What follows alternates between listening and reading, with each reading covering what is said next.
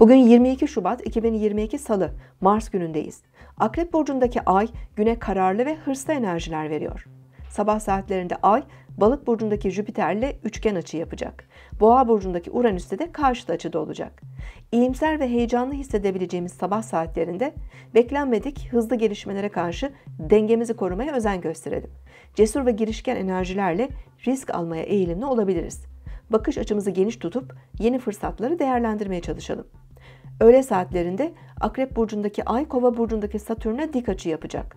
Görev ve sorumlulukların baskı ve kısıtlamalarını hissedebiliriz.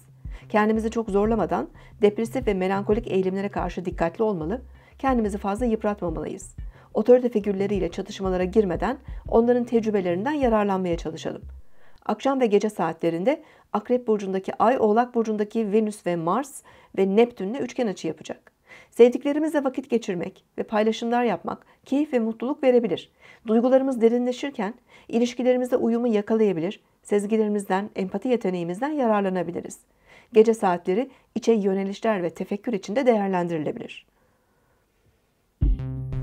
Siz de şimdi kanalımıza abone olun, yorumlar bölümüne sorularınızı yazın, sürprizlerimizden haberdar olun.